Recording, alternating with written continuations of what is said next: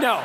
Yes, he is a serial killer. He Yeah. abducts um, his therapist, Yes, me, yeah. and chains him up in his basement, his little rec room downstairs, because he wants to really get some intensive therapy going. But I didn't think the part through that they're really they're chaining me up to the floor. Can't they just do a fake chain? I wanted a real chain because it's got a different heft to it, and it's got you know it makes you feel a certain way when you have a real chain and a real lock. I wouldn't know. No. there was there was an actual there was a visceral feeling to it. But are you actually locked locked in?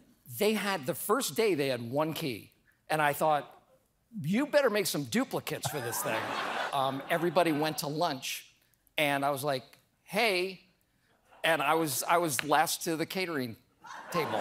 They, they didn't unlock Well, you? they forgot. Like they were. They forgot Steve Carell was chained to the bed? well, they were hungry, so